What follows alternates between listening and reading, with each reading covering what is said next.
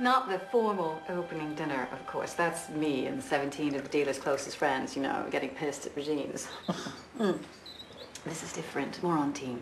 Uh, what I was thinking was that after the vernissage, I would gather together a small group. You and Mishka, of course, and Ethel de Croisset, and the Durans, and Bill and Rose Styron, if they're still in town. Not, not buyers, not, not a business thing. Thank you. People you love and who I know would love other. Oh, I can't begin to tell you how much Tony adores London. I believe it's brought about a sea change in him.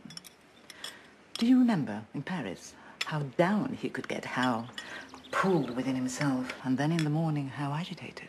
Well, that's still Tony, of course, but in London he eats, he walks, he even shops. This morning, we stayed in bed until 11 reading the newspapers. For him, that's unheard of. For me, paradise. Mm. Oh, thank you. It's a pleasure.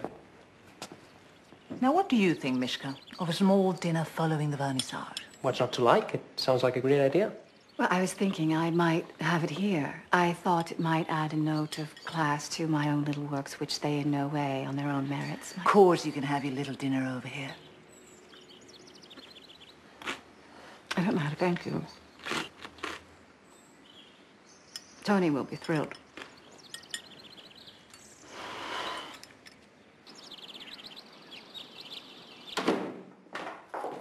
Well, where is it?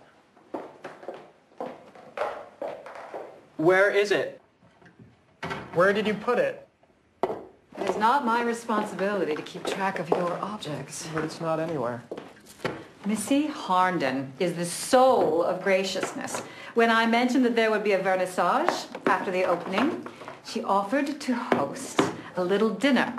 Chez Harnden. I'm so happy for you, Mummy.